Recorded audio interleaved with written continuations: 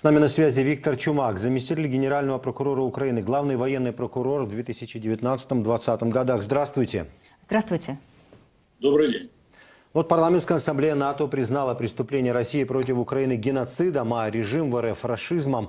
О чем говорит этот сигнал? Заявление ну, политическое, но это дает все-таки понимание того, как дальше могут развиваться события и вот чего ждать военным преступникам из России.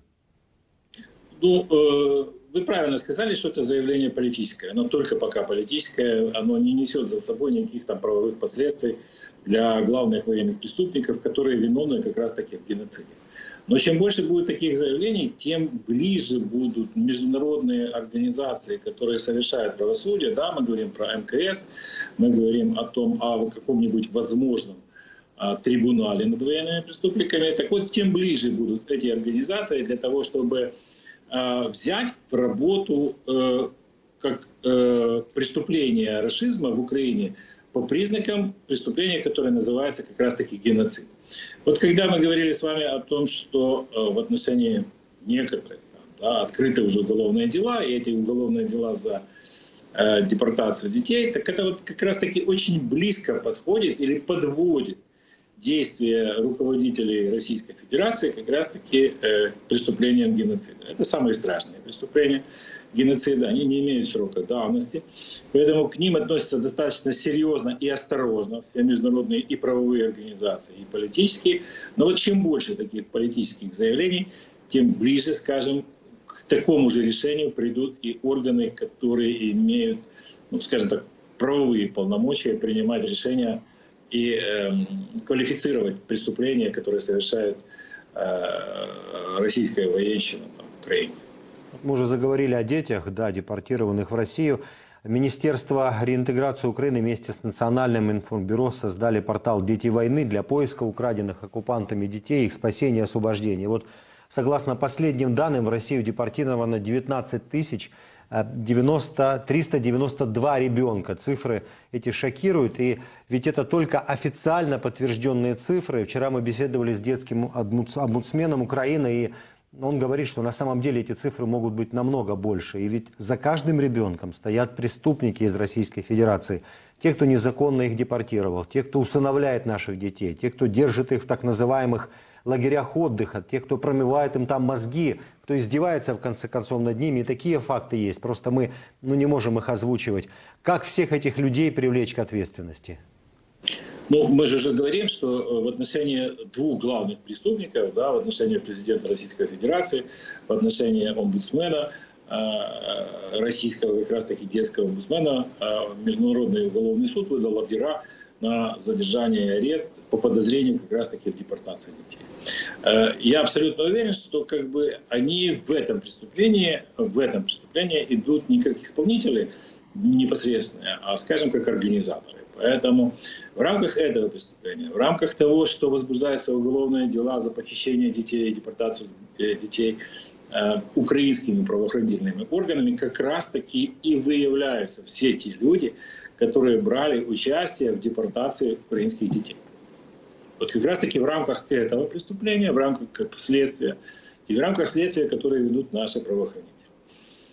Я думаю, что большинство, ну если не все, то большинство этих людей будет выявлено они как бы не являются, это преступление не совершалось скрыто. Это преступление совершалось практически открыто. Это преступление совершалось ну, почти публично, да, потому что были приняты даже публичные документы.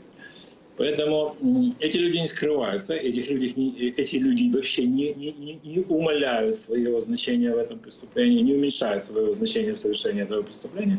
Поэтому думаю, что все они будут идентификованы, идентифицированы, скажем так. А вот другое дело, как их привлечь к ответственности, это уже совсем другая история. Потому что для того, чтобы их привлечь к ответственности, хотя бы в украинских судах или в судах международных, для МКС э, там вообще необходимо присутствие преступников, как мы знаем, для того, чтобы их судить. А вот э, в Украине существует система заочного осуждения, и вот их можно, конечно, по украинскому законодательству, в рамках э, украинских э, производств можно их осудить и заочно, и выдать международные ордера на розыске и аресты и отбывание наказания в Украине, и тогда они, в принципе, там будут в консервной банке России. Но привлечь их к ответственности можно только тогда, когда, ну, скажем так, давайте будем честны перед собой, а, о том, что тогда, когда в России изменится политика правовой режим, и следующий правовой, скажем, и следующий правительство России – может быть, или другой страны, которая будет на ее месте, будет сотрудничать с международными организациями, будет сотрудничать с Украиной по установлению лиц, совершенных, совершавших военные преступления и их наказанию. Ну, вот, только так. А, Николай Кулеба, бывший омбудсмен, о котором я уже говорил, вот сейчас, с которым мы вчера связывались в эфире, он а, беседовал вот с теми э, детьми, которых вот привезли из России, и говорил, что многие истории, ну, я просто, говорит, не могу повторить слух. А вот мне интересно, правоохранительные органы работают с детьми, они собирают вот свидетельства от этих детей, где они были, с кем они говорили. Вот все эти люди, вот то, о чем вас перед этим спрашивал, все эти люди, они будут э, записаны там, да, в каких-то там реестрах, не знаю, для будущих судов. А, и вот свидетельства детей будут ли учтены? Ну, обязательно. И это обязательно проводится. Это обязательно делается, это обязательно проводится. Я же говорю, что как раз-таки эти люди, которые совершали эти преступления, они, они же не прячутся. И они даже хвастаются дети. этим, да, вот большая часть? Не прячутся, их знают дети, да? знают родители, их знают там а, близкие, окружение и так далее и тому подобное. Само собой, что все дети, которые возвращаются, есть специальная процедура допроса детей в присутствии взрослых, в присутствии родителей, в присутствии там, невозможности педагогов, психологов и так далее. Но существуют специальные э, процедуры, когда берут показания у детей. И я думаю, что все эти процедуры обязательно проведены. Э, вот Львову Белову, которую признали э, военной э, преступницей, вы уже вспомнили. Вот из открытых источников журналисты еще установили, что она к тому же весьма предприимчива. А она мать и опекун 22 детей, из них 5 собственных, запустила множество благотворительных проектов. И под них она набирала кредиты и вот таким образом очень хорошо зарабатывала. Как еще и такую сторону ее деятельности можно прокомментировать? Да? Получается, что эта женщина, которая прикрывается детьми, ну, элементарная мошенница. Ну, смотрите, я не знаю, как ее будут там квалифицировать в России, это их дело, да. А то, как э, будут квалифицировать, скорее всего, как могут квалифицировать и международный суд, и наши суды, если когда-нибудь и будут ее судить или заочно, или очно, то вот такие все действия, они будут просто отягчающими обстоятельствами. Да, это просто, чтобы понимать, что это за личность вообще. Что... Вот я говорю, что это, это такие действия в правовом плане. Ну, я, я ж, мы с вами не говорим о моральных аспектах да, этого дела. Мы же не говорим с вами. Вы не требуете от меня, чтобы я дал им моральную не, оценку. Не, ну мошенничество моральную... это тоже ей юридическая уже, ей дефиниция. Уже все дали. Да? Моральную оценку ее качества мы ей уже все дали. А если мы говорим о правовых, каких-то правовых деталях, то я думаю, что вот такие действия ее будут просто-напросто как отягчающие обстоятельства. Когда она, прикрываясь депортацией украинских детей, использовала их для собственного обогащения. Вот и все. Вот советник городского головы Мариуполя на прошлой неделе сообщил о том, что а, власть работает со следователями Международного уголовного суда по вопросу наших похищенных детей из Мариуполя конкретно. И доказательств в суде более чем достаточно, об этом сказал Петр Андрющенко. Вот по-вашему, а, сможет ли вот Львову Белову как-то все-таки достать э, международное правосудие? Ну, мы уже говорили с вами об этом, и я, я, я, я говорил, пока в России существует этот политический режим, и пока Львова Белова находится в России и никуда не выезжает в страну, в котором действуют там римские статуты, на которые распространяется ордер МКС, достать ее невозможно. Ну, мы с вами понимаем, да? Или это можно сделать путем каких-то спецопераций, специальных служб. Но мы пока об этом же не говорим. Мы с вами говорим о правовом пути. Да? Вот достать ее невозможно. Когда в России, когда в России, я не говорю если, я говорю когда в России, изменится политический режим. А вот. И он будет сотрудничать со всеми международными организациями, которые привлекают к ответственности всех преступников военных в этой Такие, войне. как Львова Белова, будут сдавать первыми. Абсолютно точно. Тогда и она пойдет в суд. В тот суд, который уже на сегодняшний день выдал ей ордер на ее задержание и арест. Российская Госдума узаконила полномочия так называемых властей на временно оккупированных территориях Украины осуществлять, а, я хочу это процитировать, как это называется, принудительное и контролируемое перемещение жителей с этих территорий. А, То есть будет ли всплеск депортации, в том числе детей, по-вашему, вот после принятия такого решения, и как это найдет свою юридическую оценку? Э, Смотрите, все решения, которые принимает Российская Государственная Дума по отношению к суверенной территории Украины, они являются ничтожными. Они никем не обязаны, не обязаны выполняться. Никем не обязаны выполняться. Все, что дальше будет проводиться под так зваными, под, под эгидой так званых этих решений, да, это все будет преступлением. А как их будут квалифицировать, это будет зависеть от, от того, что там будет делаться. Будут пере- депортировать детей, значит, это будет депортация детей. Будут преследовать э, другие категории граждан, это будет квалифицироваться совсем по-другому. Все, что принимает Госдума для всех этих э, псевдоорганов на, на нашей территории, они являются, с точки зрения права, они являются абсолютно ничтожными. Вот и все. На сегодня ордера э, Международным уголовным судом выписаны на Путина и ну, Львову Белову. Как вы считаете, стоит ли ждать такого ордера и на Лукашенко? Вот э, была новость, что украинских детей э, с временно оккупированной Васильевки э, Запорожской области вывозили в так называемые лагеря отдыха в Беларусь. Я думаю, нет. Я думаю, нет, потому что если в отношении Львова и Беловой и в отношении самого Путина есть документы, которые подтверждают вот их деятельность по депортации украинских детей, и только благодаря этим документам, да, специальному указу Путина, который как бы дал право там перевозить украинских детей и э, там практически официального признания на телекамеру Львова Беловой о том, что она э, реально выкрала одного ребенка типа усыновила, да, и был выдан ордер МКС, э, который является, то в принципе таких действий со стороны Лукашенко не было. И поэтому с точки зрения, с точки зрения там, ну, как бы привлечения к ответственности его да, за это именно преступление, тут э, ну, пока я не вижу оснований. Давайте будем говорить честно.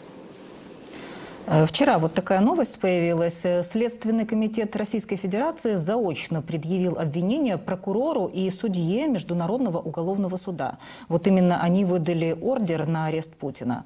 И действие МУС российское следствие э, описало, как я цитирую, «привлечение заведомо невиновного к уголовной ответственности и приготовление к нападению на представителя иностранного государства». Да? Вот э, как вам такие заявления? На кого они вообще рассчитаны? Все заявления, которые делаются в России, э, вот в этом отношении, да, все заявления, которые, все решения, которые принимаются государственными органами России в этом отношении, они рассчитаны исключительно на внутреннюю аудиторию, исключительно на граждан России, которые сидят в российском телевидении, которых российское телевидение зомбирует, которые российское телевидение вколачивает в голову о том, что они великие и они могут принимать какие-то решения, и их Следственный комитет на что-то в жизни влияет, хотя он не влияет ни на что ни на что, ни на кого и никогда и нигде. Понимаете? Потому что ну, все посмеялись с этого решения, и оно вообще никаких последствий ни для кого не будет иметь. Потому что я так понимаю, что хан никогда не поедет в Россию. Вот. А здравомыслящие люди ни в одной стране мира э, не выполнят э, решение как бы да какое это прощение? Это, в принципе не, не может быть выполнено это решение в России. И нигде, кроме России, понимаете? Поэтому, ну, бред сивой кобылы в майскую ночь. И, судя по всему, Вот. они и сами понимают, что это бред. Вот да? все. Да, заведомо невиновный, при- привлечение заведомо невиновного к уголовной ответственности. Это, конечно. Вы поймите, эти все политические заявления, да, они, я говорю, они ни, ни к чему не приведут, правовые решения, они ни к чему не приведут, потому что как бы они не распространяются, они имеют там э, юрисдикцию на, на других территориях, кроме России. Вот. И это делается только для того, чтобы как бы, вот, своему зрителю, своему избирателю, своему, там, я не знаю, назвать их гражданами, гражданами сложно, граждане все-таки не граждане несут ответственность за свое государство, их сложно назвать гражданами. Это делается для того, чтобы как бы им показать, что, в принципе, российское государство сильное, оно тоже принимает какие-то сильные решения в отношении, ну, точно так же, как запрет э, э, въезда на территорию России Бараку Обаме, понимаете, это приблизительно из той же самой.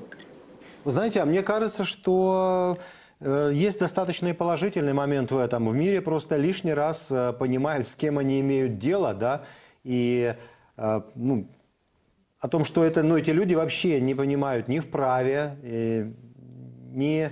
И с ними говорить, в принципе, даже не о чем. Вот даже не знаю, как это сформулировать. Просто когда говорят ну, откровенную глупость, я вот видел, когда Ирина задавала вопрос, вы просто, когда услышали суть, даже улыбаться начали, да?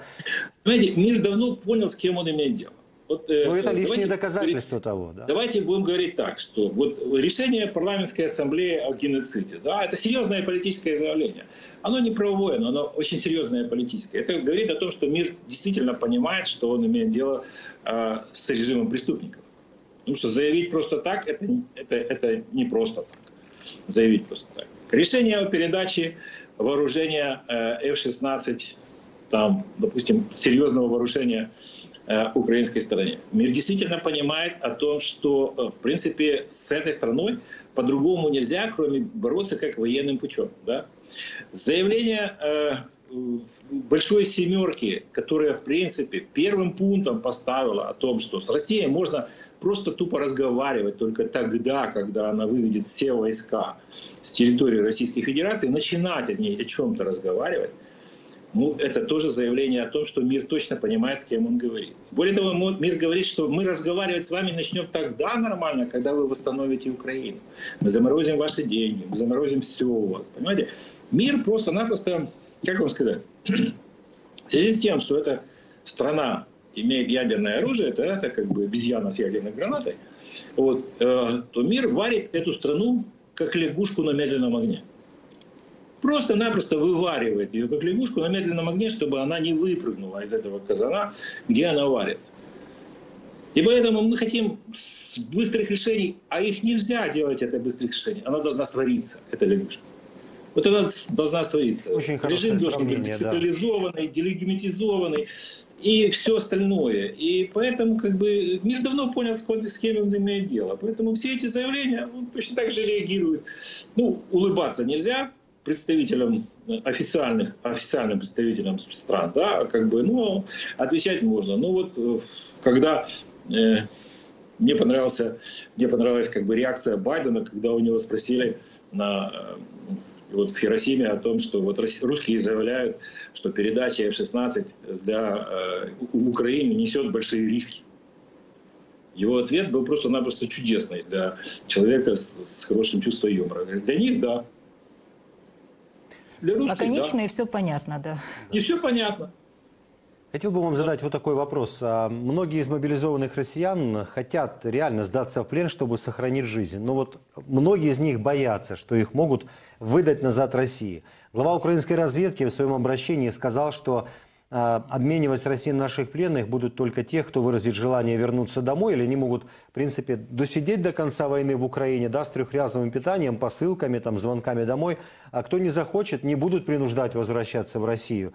А какие юридические варианты вот, последующих действий могут быть у таких пленных? Им действительно не стоит бояться выдачи, и вот на что они могут рассчитывать?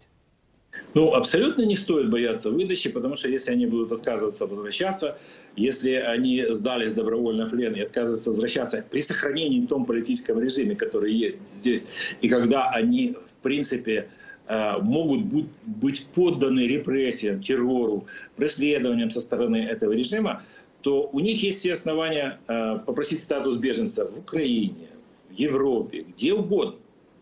У них есть доказательства прямые о том, что они пришли. Ну, если они не воевали, конечно, если они докажут, что они не воевали, они минимально воевали, хотели сразу сдаться, они там не хотят поддерживать этот режим и так далее и тому подобное. Их никто не будет выдавать. Это противоречит всем нормам гуманитарного права.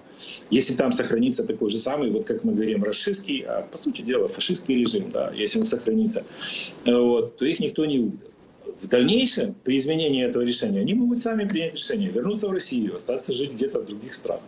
В любой стране, где они э, могут получить статус там или политического беженца, или статус беженца.